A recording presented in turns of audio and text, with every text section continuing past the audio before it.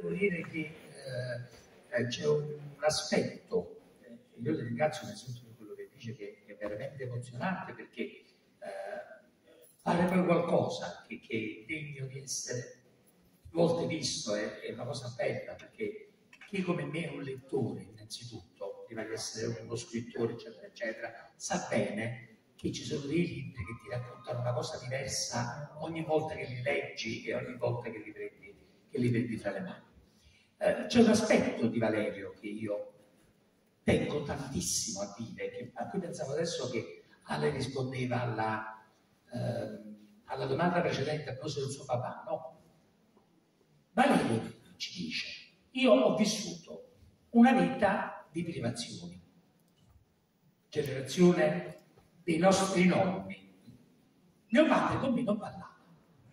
Mio padre tornava a casa avendo lavorato e portava le sue risorse. Il mio modello è mio padre, che con me non ha mai parlato. Io ho fatto più di mio padre, nel senso che io ho vissuto una vita di privazioni perché mio padre faceva quello che poteva. Io ho potuto più di lui, vi ho dato di più, vi ho dato maggiore benessere, maggiore eh, serenità, maggiore stabilità, maggiore... Perché avete ancora da lamentarvi rispetto a quello che era il mio modello? Quindi la tenerezza nei confronti di quest'uomo è che lui fino alla fine, quando poi dice sì ho sbagliato, ho sbagliato, ti chiedo scusa, ti chiedo perdono, adesso cerchiamo di rimediare, ho sbagliato e non può più rimediare. La tenerezza è che quest'uomo in realtà non capisce di aver, fatto, di aver tolto qualcosa. Dice io, se avessi giocato di più con voi e lavorato di meno, dandovi anche però meno benessere, sarebbe stato meglio? Non lo so. È, è un po' la domanda, ricordiamo tutti il meraviglioso film di Alberto Sordi, che c'è guerra, c'è speranza, ti ricordi? Quando lui alla fine dice, mi avete scoperto, io faccio il trafficante d'armi, la moglie e i figli, tutto questo benessere deriva da questa cosa che io faccio, facciamo così, se volete che io faccia il, uh, ancora e vi dia tutto questo benessere, svegliatevi domani alle 6 perché devo partire. Se no, lasciatemi dormire. Se, avete, se volete che io rinuncio, lasciatemi dormire. La mattina dopo alla camera svegliato, io le sono riuscito. È secondo me spettacolare.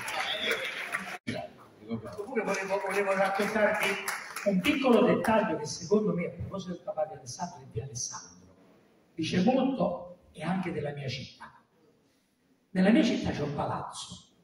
Questo palazzo ha all'interno di un quartiere che si chiama Sanità, che è molto un quartiere ventrale della mia città. È un palazzo che si chiama eh, Palazzo San Felice, ma che è noto agli napoletani come Palazzo dello Spagnolo. Ha all'interno una scalinata ad arco molto particolare. Questa scalinata è un luogo dove si sono girati molti film. 1967 Uh, si gira in questo luogo un film che manco a dirlo si chiama Questi fantasmi, tratto dall'opera di Eduardo. Protagonista il meraviglioso, grandissimo Mattatore, che per girare questo film, con Sofia Loren peraltro, si porta dietro il suo bambino, che ha due anni, che viene a Napoli per la prima volta. Questo bambino che ha due anni, che viene a Napoli per la prima volta, è questo anziano signore. questo anziano signore non sa che giorno è viene a Napoli per la prima volta e guarda il papà recitare questo. Esattamente 50 anni dopo, quindi non 49, 51, 50.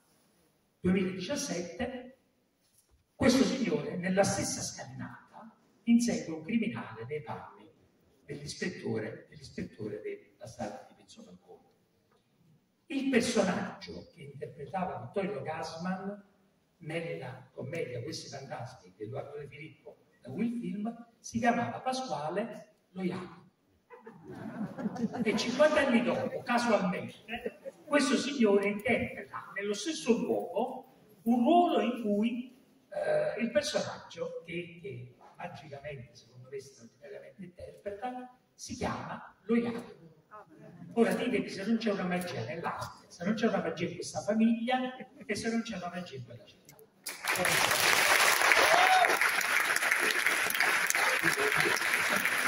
sembra siamo subito sul problema. Eh, prego.